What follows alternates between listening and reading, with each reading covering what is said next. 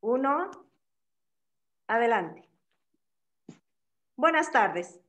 La Universidad Autónoma de Zacatecas, Francisco García Salinas, a través de la Unidad Académica de Derecho, les da la más cordial bienvenida al cuarto informe de actividades del doctor Juan Carlos Guerrero Fuentes. Les solicito respetuosamente a los presentes, guardemos un minuto de silencio por nuestros compañeros que fallecieron en este año. Doctor Enrique Rodríguez, doctor Sergio Reveles y doctor Jaime Santilla.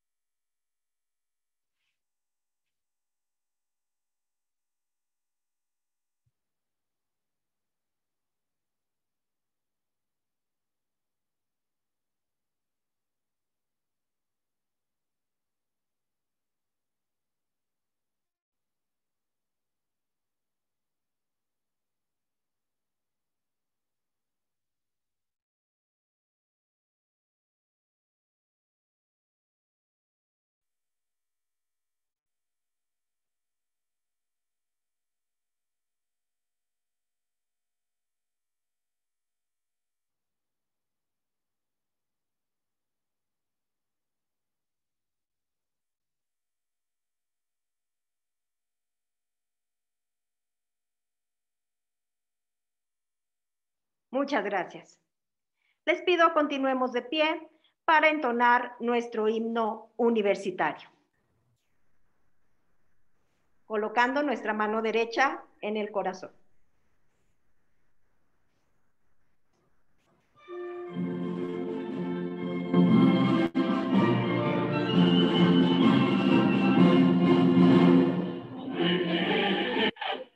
Historia y el ideal de Prometeo señala la luminosa hacia la luz.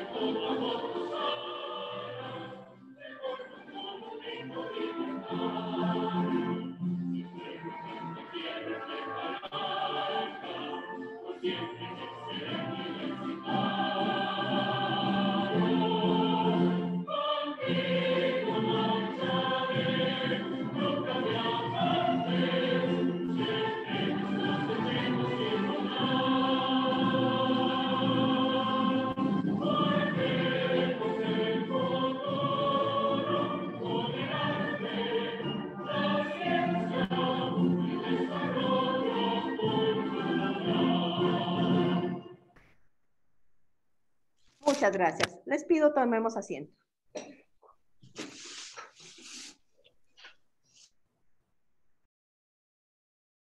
Bienvenida a quienes nos honran hoy con su presencia en esta sesión especial del Honorable Consejo de Unidad.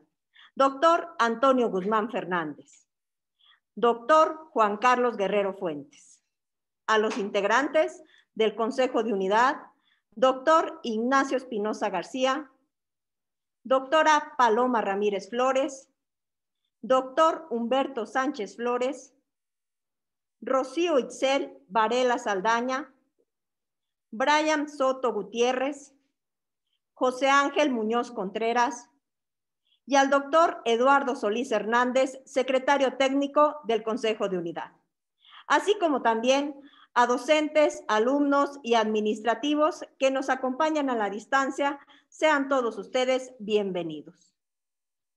Las palabras honestas nos dan un claro indicio de la honestidad del que las pronuncia o las escribe. Miguel de Cervantes. Es sin duda la transparencia, la rendición de cuentas, el trabajo constante, algunas de las características que han distinguido a esta administración 2016-2020, encabezadas por el doctor Juan Carlos Guerrero Fuentes. Es por ello que sin más preámbulo cedemos el uso de la voz al doctor Eduardo Solís Hernández, secretario técnico del Honorable Consejo de Unidad, para que dé inicio a esta sesión especial. Le pido amablemente, señor secretario, encender su micrófono antes de iniciar la sesión.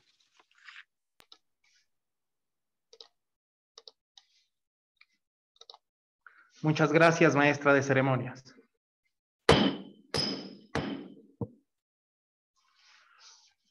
Hoy, 8 de diciembre del año 2020, reunidos en la sala de usos múltiples de la Unidad Académica de Derecho y ejecutando este acto de manera remota, siendo las 12 horas, se declara solemne esta sesión especial en apego a nuestra normatividad universitaria.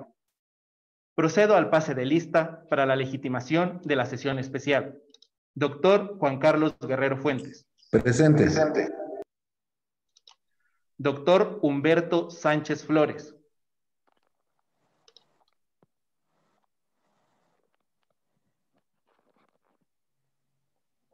Doctora Paloma Ramírez Flores. Presente. Doctor Ignacio Espinosa García. Presente. Rocío Itzel Varela Saldaña. Presente. Brayaham Soto Gutiérrez. Presente. José Ángel Muñoz Contreras.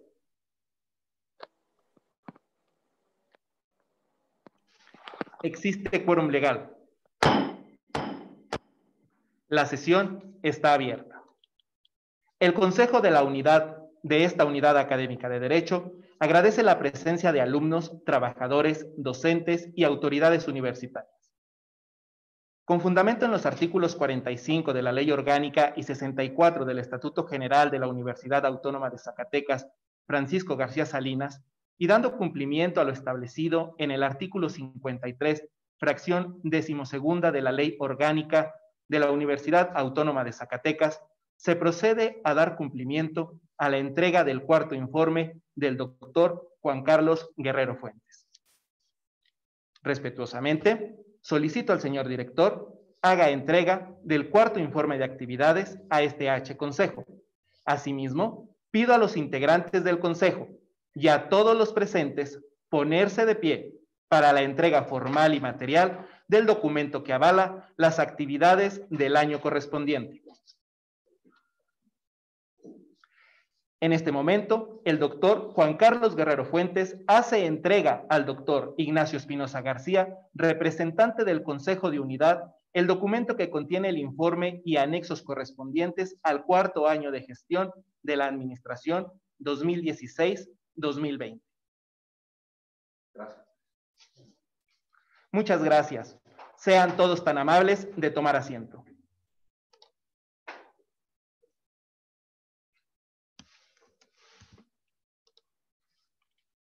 Acto seguido, se concede el uso de la voz al señor director, con el objeto de que nos brinde su mensaje del estado que guarda nuestra unidad académica.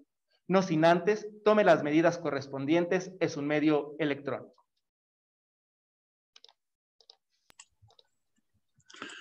Muchas gracias, señor secretario. Saludo con respeto a los integrantes de nuestro cuerpo colegiado de gobierno, el Honorable Consejo de Unidad a la comunidad docente, estudiantil y trabajadores administrativos, a los señores exdirectores de esta unidad académica de Derecho, a quienes me han acompañado durante la administración 2016-2020. Con respeto y agradecimiento a nuestro señor rector, el doctor Antonio Guzmán Fernández. Muchas gracias a todos.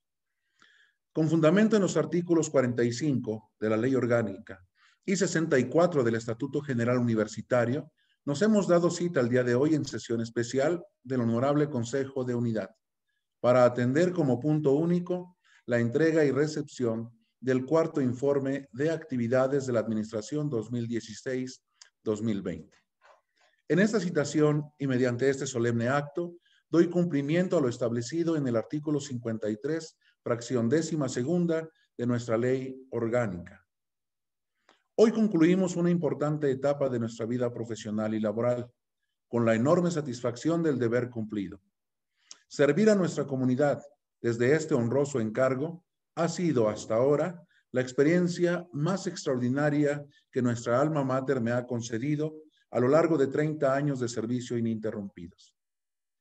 Durante nuestra gestión pudo haber, como es normal, diversas formas de pensamiento, sobre nuestra actuación aceptable o no según criterio subjetivo. Sin embargo, podemos asegurar que quienes participamos activamente en esta administración lo hicimos con la vocación de servir de la mejor manera y mucho más allá del cumplimiento de una obligación, por el respeto a nuestra comunidad y el amor a nuestra noble institución. Al inicio de nuestra gestión, supusimos que servir con tesón y esmero sería el reto más grande al que tendríamos que enfrentarnos. Sin embargo, el destino nos guardaba tribulaciones mucho más grandes. Importantes cambios en el sistema de procuración y administración de justicia, problemas de inseguridad nunca antes vistos, visibles desavenencias entre la comunidad universitaria que afortunadamente siempre imperó la razón.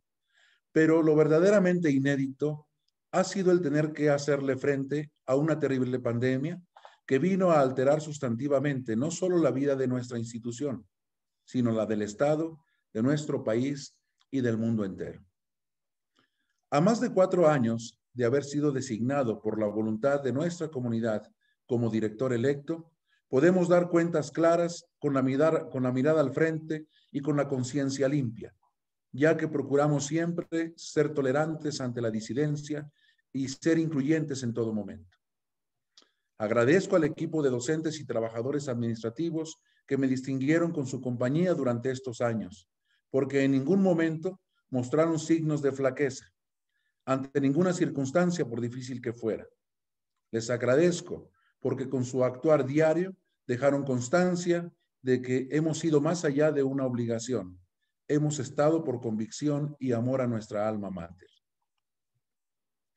Al inicio de nuestra gestión, la comunidad de la Unidad Académica de Derecho se conformaba por 3.950 universitarios. Hoy es de 4.100, entre alumnos, docentes y trabajadores administrativos, destacando que, no obstante la población estudiantil registró un incremento de casi un 3%, la planta docente y administrativa se vio disminuida sustantivamente en alrededor de un 6%, por razones de jubilaciones o lamentables decesos. Eso significa que hoy se atiende a una población estudiantil mayor con una planta docente y administrativa mucho menor que hace cuatro años. El mayor número de esta población estudiantil se concentra en la capital. Sin embargo, un porcentaje importante se atiende en las diferentes extensiones que aún con ciertas dificultades se ha logrado mantener. Fresnillo, Jalpa, Jerez y Villanueva. En estas extensiones de licenciatura en Derecho se beneficia a casi 700 estudiantes, un 20% de la población estudiantil, que no tienen que trasladarse a la capital para continuar con sus estudios profesionales, ahorrando gastos de traslado, hospedaje y alimentación en la mayoría de los casos. En esta administración hemos sido cuidadosos de servir con equidad y respeto, comenzando por la integración de la administración y sus diferentes espacios administrativos, pero también con un alto sentido de inclusión. Hombres y mujeres han sido considerados por iguales en sus derechos y obligaciones, poniendo especial énfasis en personas con diferentes discapacidades y algunos procedentes de comunidades indígenas, realizando esfuerzos extraordinarios para cumplir con las condiciones necesarias para su adecuada atención e integración en las actividades académicas sustantivas y en condiciones de igualdad. Durante nuestra gestión, participamos en 46 sesiones del Honorable Consejo Universitario. Como miembro de la Comisión de Honor y Mérito, sesionamos en más de una veintena de reuniones, a través de las cuales recibimos y discutimos, además de la problemática propia, el reconocimiento de grado de doctor honoris causa a distinguidos académicos y personajes de la vida pública, que por su trayectoria nuestra institución les distingue. Participamos además en 38 reuniones con directores y la Administración Central, donde discutimos y buscamos soluciones a la problemática común. Respecto al Honorable Consejo de Unidad, fuimos extremadamente respetuosos de la normatividad universitaria, reactivando las sesiones como lo mandata nuestra ley orgánica. Se realizaron un total de 16 sesiones a través de las cuales se atendieron los asuntos procedentes y que este máximo órgano de gobierno debía conocer. Como miembro de la Asociación Nacional de Facultades, Escuelas de Derecho, Departamentos de Derecho e Institutos de Investigación Jurídica, AC, ANFADE, participamos en cuatro congresos nacionales en las ciudades de Tijuana, Chihuahua, Durango y Monterrey. En 2016 fuimos nombrados coordinadores de la circunscripción 4 de la propia asociación, que comprende los estados de Zacatecas, Aguascalientes y San Luis Potosí. Debemos resaltar que esta coordinación nos fue ratificada en 2018 ya como coordinadores de esta circunscripción 4 de la ANFADE, convocamos y participamos en nueve reuniones, la última de estas llevada a cabo en plena pandemia de manera virtual en julio pasado. Debido a nuestra actividad de participación y buenas relaciones con todas las instituciones afiliadas, y en vísperas de nuestra renovación de acreditación, fuimos seleccionados como sede del 31 Congreso Nacional de nuestra asociación, a celebrarse del 19 al 21 del de marzo del presente año.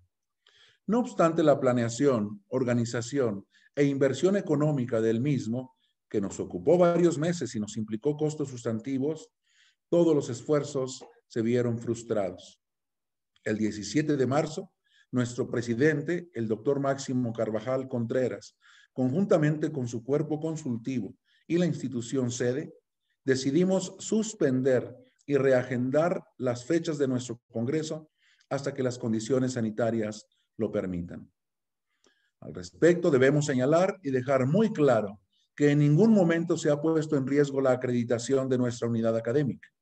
Una vez llegada la fecha de vencimiento y por cuestiones de la contingencia sanitaria decretada en nuestro país, se ha solicitado y concedido una prórroga del término hasta que las condiciones sanitarias lo, permiten, lo permitan, dado el tipo de acreditación del que se trata en nuestra unidad.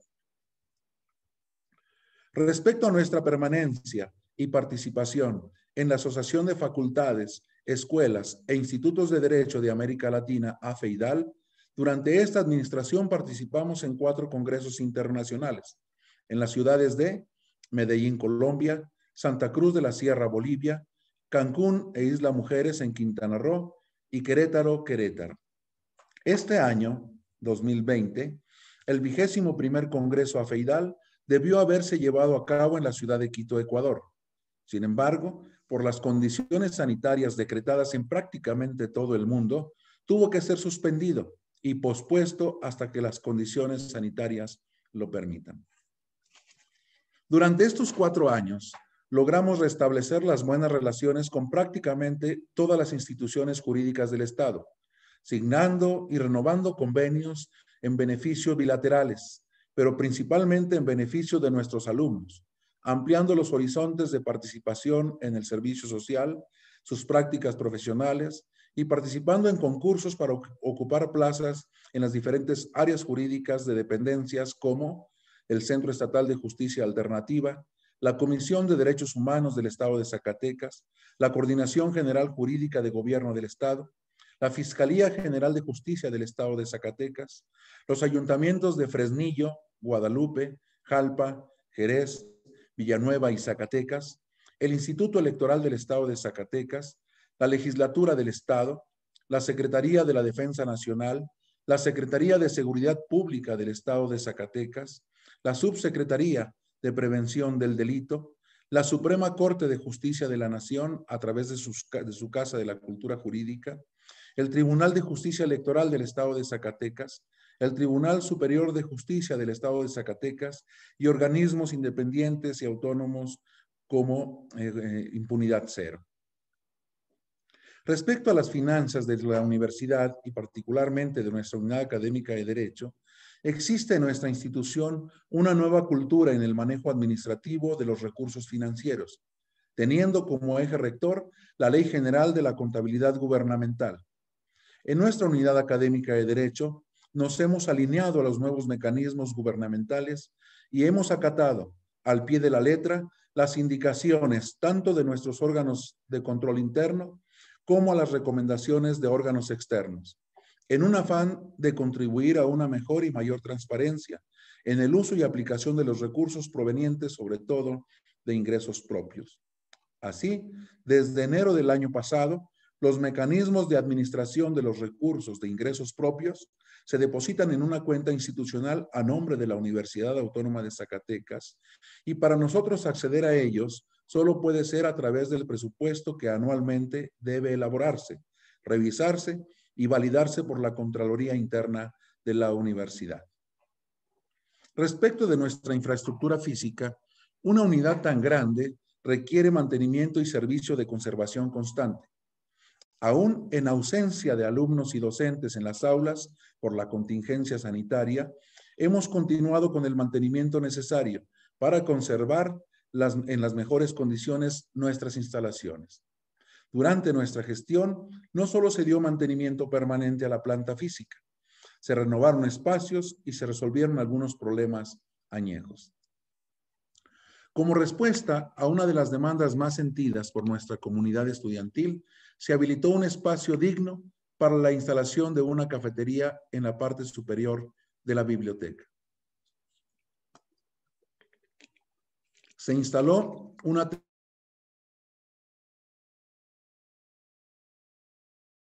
parte posterior de nuestras instalaciones, proporcionando más seguridad, sobre todo a nuestros compañeros del turno vespertino, que terminan sus clases oscureciendo el día. Se habilitó un nuevo espacio para la aplicación de exámenes profesionales en la segunda planta del edificio administrativo un espacio con mayor amplitud e iluminación y con las condiciones tecnológicas necesarias para tal efecto. Se pavimentó el estacionamiento de la parte posterior de la unidad, renovando la base de piedra por una plataforma de concreto sólido. Se recuperó y restauró el antiguo salón llamado del Consejo, convirtiéndolo en lo que es ahora el módulo de información institucional.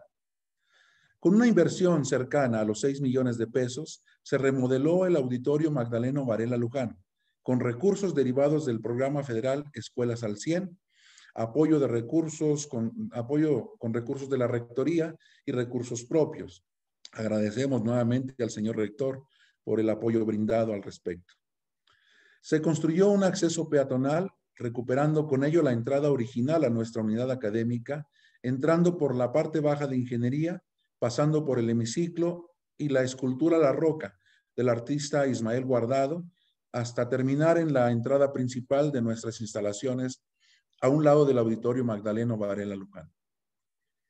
Se resolvió un problema añejo de aguas negras, derivado de un sistema de drenaje obsoleto que afectaba a nuestra comunidad con olores fétidos y polvo contaminado, convirtiéndose en un foco de, infección inminente. Con una inversión cercana a los 600 mil pesos provenientes de la Rectoría y de recursos propios de la unidad, se construyó una nueva red de drenaje partiendo de la parte posterior del edificio antiguo y concluyendo en la red pública construida por el ayuntamiento y la GIAPAS.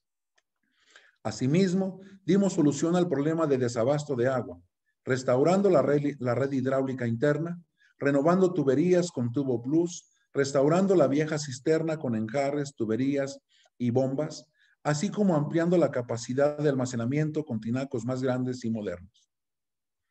Como una respuesta muy sentida de la gran mayoría de nuestra comunidad y para mayor seguridad en las instalaciones, se realizaron las diferentes acciones en infraestructura. Se construyó, se construyó un cerco perimetral que limita y restringe el acceso peatonal y vehicular a solo dos entradas y salidas, y no a seis como era anteriormente. Para una mayor amplitud en la visión, tanto de afuera hacia adentro como a la inversa, se retiró la portería que se encontraba en la entrada principal. Con esta acción, además de ampliar la visión panorámica, se dio mayor realce a la fachada original que tiene como marco uno de los costados de nuestro majestuoso y legendario Auditorio Magdaleno Varela Luján. Dado lamentables acontecimientos en nuestra institución y como respuesta a las recomendaciones de la Comisión de Derechos Humanos del Estado de Zacatecas, se han instalado cámaras de seguridad nuevas en prácticamente todas las instalaciones de nuestra unidad, con un sistema de circuito cerrado y vigilando permanentemente por nuestras instancias centrales.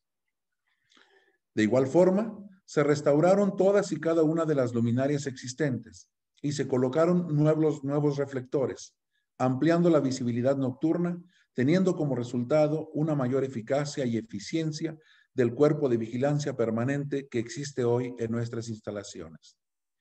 Se construyó una nueva caseta de vigilancia en el acceso principal, con ubicación estratégica para que el cuerpo de vigilancia tenga mayor amplitud en la visibilidad tanto en el acceso como la salida vehicular y peatonal. Se dio mantenimiento general al asfalto del estacionamiento principal, reencarpetando aquellas partes dañadas y colocando emulsión para una mayor conservación y cuidado del mismo. Con una inversión cercana a los 4 millones de pesos provenientes del Instituto Zacatecano para la construcción de escuelas, INSACE, y de la Universidad Autónoma de Zacatecas, se construyen actualmente dos salas de juicios orales en materia laboral, mismas que serán entregadas a esta unidad académica y estarán en condiciones de uso a partir del próximo semestre, enero-julio 2021. Gracias a las gestiones del señor rector y por acceder a caminar institucionalmente de la mano con esta comunidad universitaria.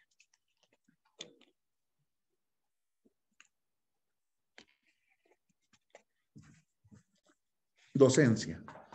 De las reuniones permanentes con las distintas academias durante nuestra gestión, se logró la actualización de 26 programas académicos.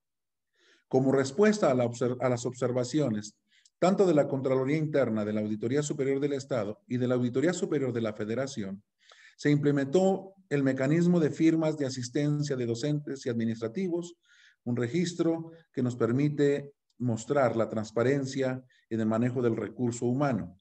Se registraron también avances programáticos en cada materia, por lo cual agradecemos a nuestra planta docente, así como a nuestros alumnos jefes de grupo, por su buena disposición para transparentar el quehacer de nuestra institución. Respecto a la matrícula estudiantil, no solo logramos mantenerla, sino que en un ligero incremento se dio en ella.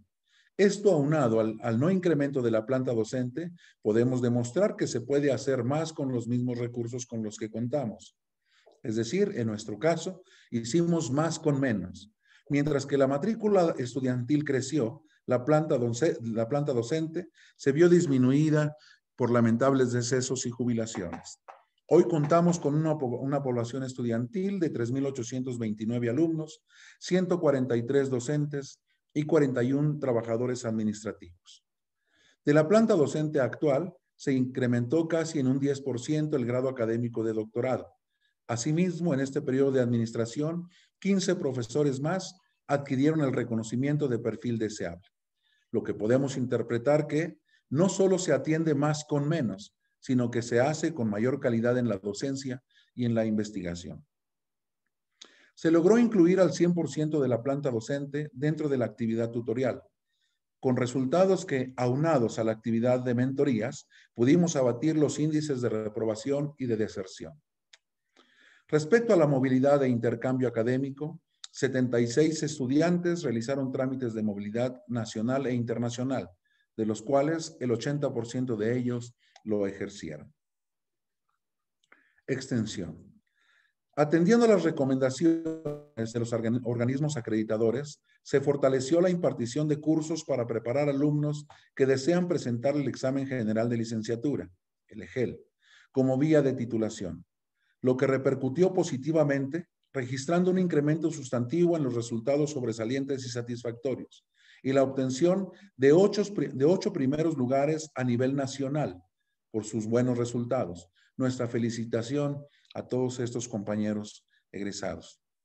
Se retomó el sentido original del bufete jurídico y social, reorientando la asignación de personal, tanto docente como administrativo, pero sobre todo ampliando las posibilidades para que cada vez más alumnos puedan realizar su servicio social o prácticas profesionales en las materias de derecho civil, familiar, agrario y laboral.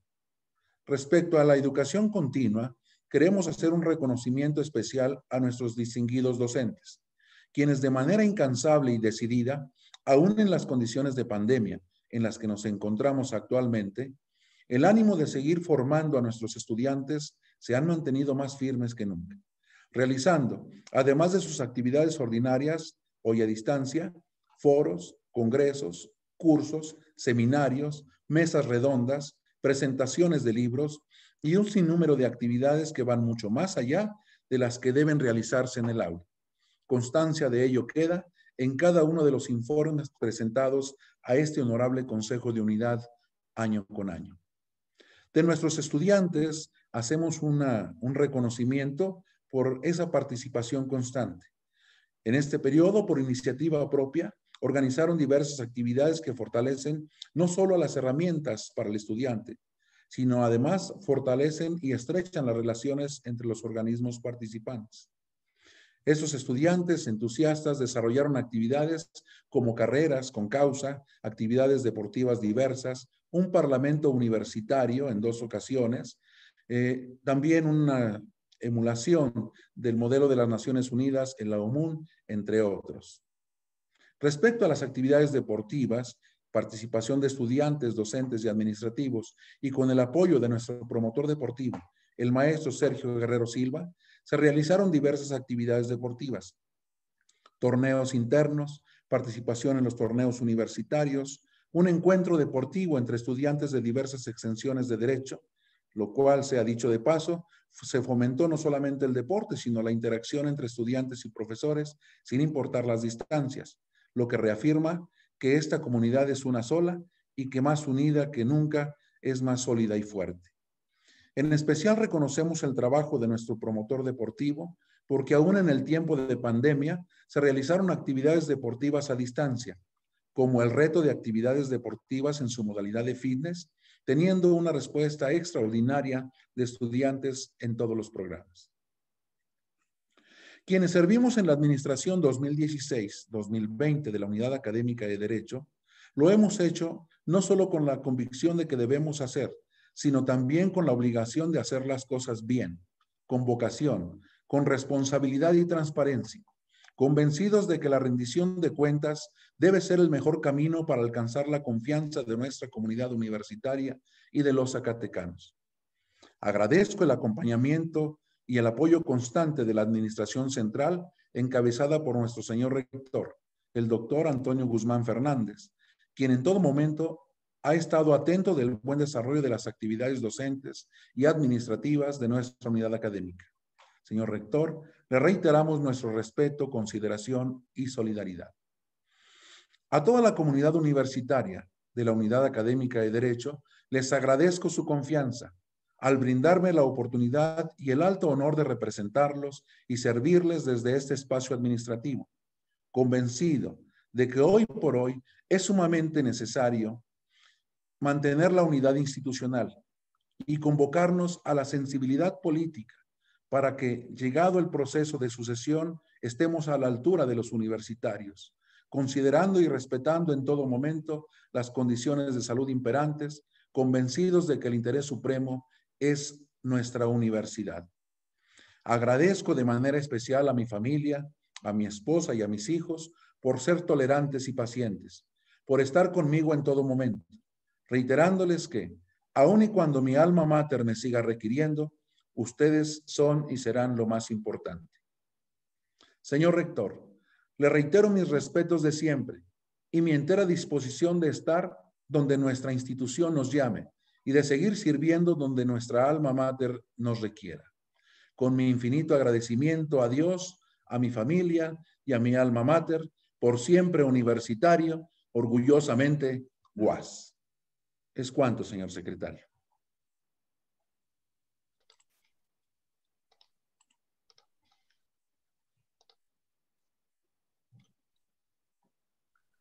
Habiendo escuchado las palabras del señor director y agotado el orden del día, se da por terminada la sesión especial del H Consejo de Unidad de la Unidad Académica de Derecho, siendo las 12 horas con 40 minutos del día 8 de diciembre del año 2020.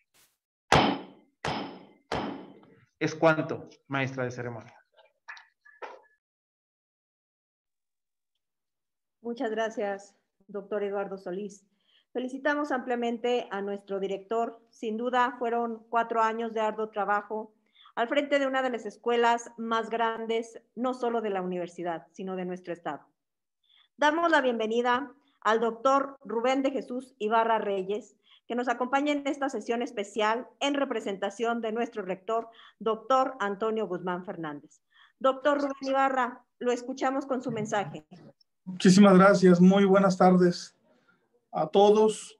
Antes que nada, pido una disculpa muy sincera del doctor Antonio Guzmán Fernández, rector de nuestra universidad, quien por cuestión de agenda eh, no nos puede acompañar. Como ustedes saben, estamos en eh, pleno eh, cierre de año y en negociación del próximo subsidio para nuestra institución, por lo que el día de hoy se agendó una reunión con algunos legisladores que se alargó por lo que el rector está en esa situación, pero me pide que envíe un cordial y afectuoso saludo a todos los compañeros, miembros de esta unidad académica de Derecho y en especial a su director, el doctor Juan Carlos Guerrero Fuentes, a quien yo de manera personal felicito y agradezco por eh, poco más de cuatro años de trabajo conjunto, institucional y por supuesto de respeto hacia nuestra universidad, hacia la unidad académica y hacia la institucionalidad de nuestra querida UAS.